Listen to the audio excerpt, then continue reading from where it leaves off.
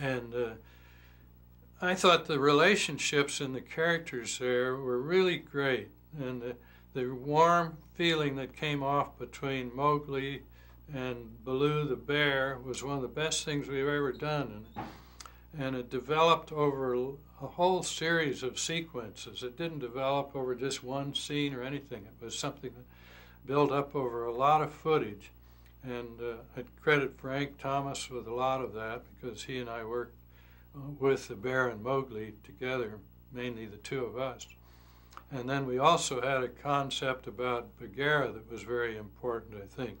There was a story man there who always had every pencil sharpened and all lined up on his desk, every pad of paper lined up, everything as neat as a pin.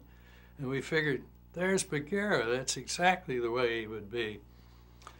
Well, Baloo would be the kind of guy, if you came into his room, why, he'd have his feet up on the desk and he'd have a sandwich half eaten and crumbs all over the place. And he'd say, sit down, take five, you know.